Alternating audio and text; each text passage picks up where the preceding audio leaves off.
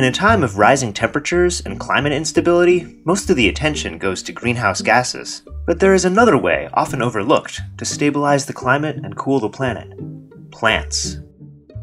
Unlike high tech geoengineering schemes, forests, wetlands, grasslands, and marine ecosystems bring numerous benefits beyond just cooling the atmosphere. They increase biodiversity, they can prevent floods, and prevent erosion. But for now, let's talk about how they stabilize the weather and promote cooling.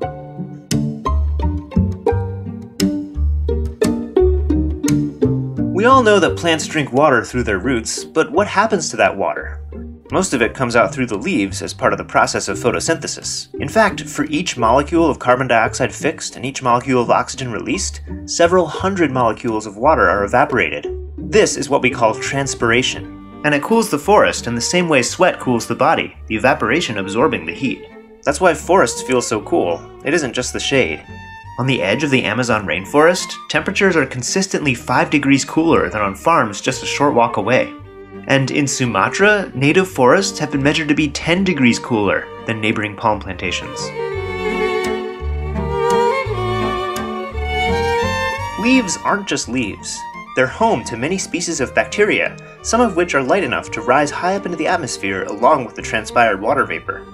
These bacteria are small, but much larger than the water vapor particles so the gaseous water vapor uses the surface of the bacteria to condense into liquid droplets, creating clouds much more quickly.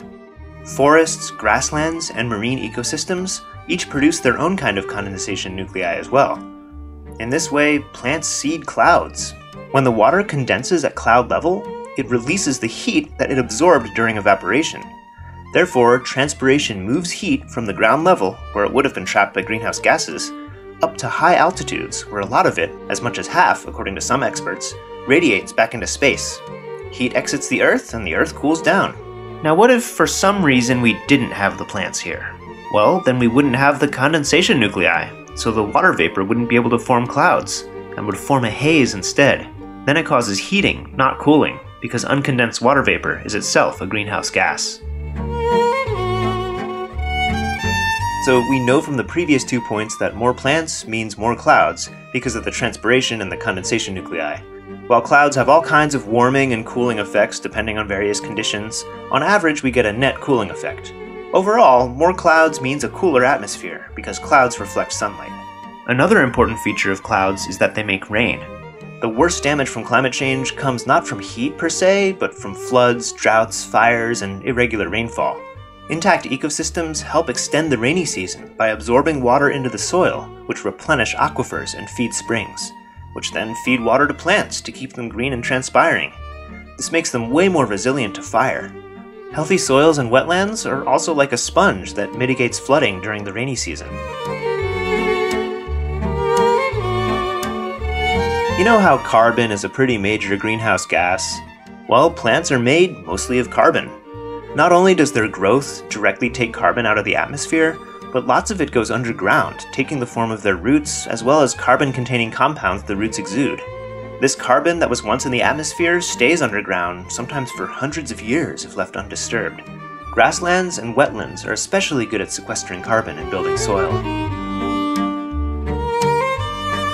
Finally, let's not forget the two thirds of the planet covered by water.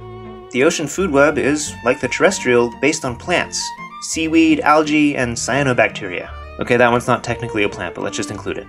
Marine ecosystems contribute to cloud formation, as do land based ones, and they also sequester massive amounts of carbon in the form of shells, which are made of calcium carbonate.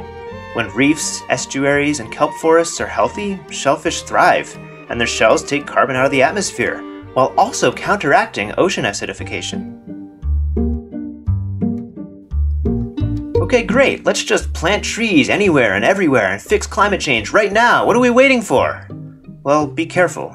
There have been a number of reforestation efforts, and some have ended in disaster. For example, when fast growing trees suck up the available water and die, leaving the land a desert. That kind of thing often happens when we use carbon calculations to guide ecosystem regeneration.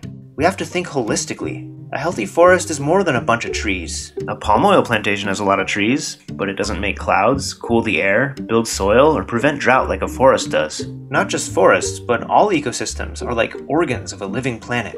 Like your organs, they control the body temperature, direct its fluids, and maintain the life of the whole.